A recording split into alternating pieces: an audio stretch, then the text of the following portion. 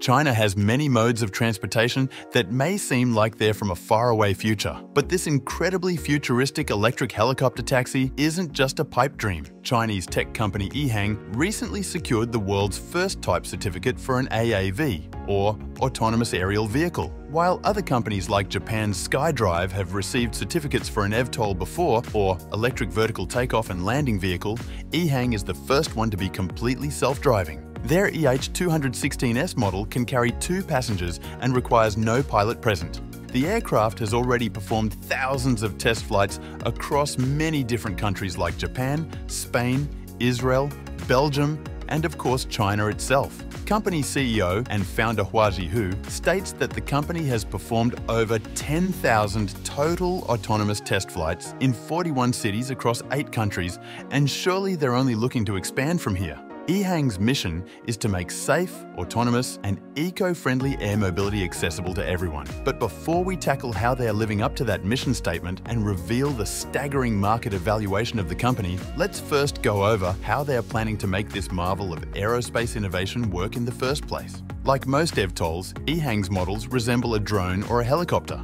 Because of the nature of their vertical takeoffs and landings, they require very little space, and the company has designed a variety of landing ports for landings even on tall building rooftops and on top of water. They feature a completely zero-emission design, where the units run entirely on electricity. The EH216S cruises at about 100 km per hour, but can reach speeds of up to 130 km per hour or 81 miles per hour, with a travel range of 35 km or 22 miles. Recharging its battery currently takes a total of 120 minutes, but is something that the eVTOL industry is constantly working to improve upon. To achieve flight, the EH216S has 16 propellers, with an individual battery-powered motor for each one. This ensures that malfunction of a single motor won't affect the remaining 15 propellers. The AAVs are also equipped with multiple fail-safes, such as full redundancy in all critical components, emergency landings, and network encryption. EH models aren't just built for passenger transportation, however. In addition to providing these taxi-like services, EHang has also performed thousands of flights loaded with goods such as cargo or medical equipment. And they even have the separate EH216L exclusively for logistics work. The maximum weight that the more advanced EH216S can carry is approximately 220 kilos or 485 pounds. So, for now, the variations of what or even who can board the aircrafts is slightly limited. Another interesting area that they are looking into is firefighting AAVs.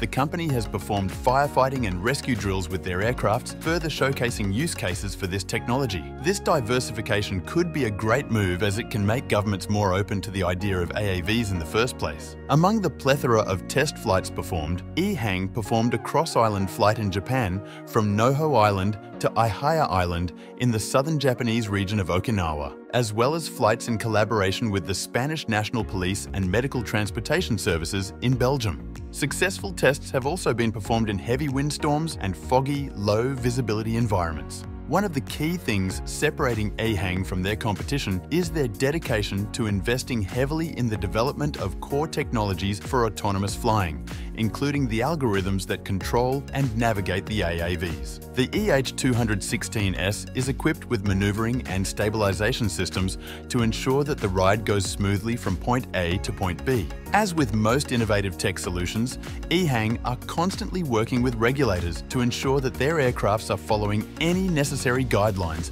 and can be legally operational even within an urban city environment. Just a month ago, in October of 2023, they received a type certificate from the Civil Aviation Administration of China, becoming the first in the world to get one for an autonomous aviation vehicle. The company has applied for and is looking to obtain certificates in other countries as well, including the United States. In 2022, both the Japanese tour company AirX and Aerotree from Malaysia ordered 50 units of the EH216 each, some of which will be used by AirX for the first time during the 2025 World Expo in Osaka, Japan, where multiple companies will present their solutions for the future of society during the massive World Expo project together with participants from 146 different countries. If they do a good job here, their presentation may be able to legitimise AAV and EVTOL aircrafts to the world and perhaps even lead to a broader worldwide adoption of the technology. In December of 2019,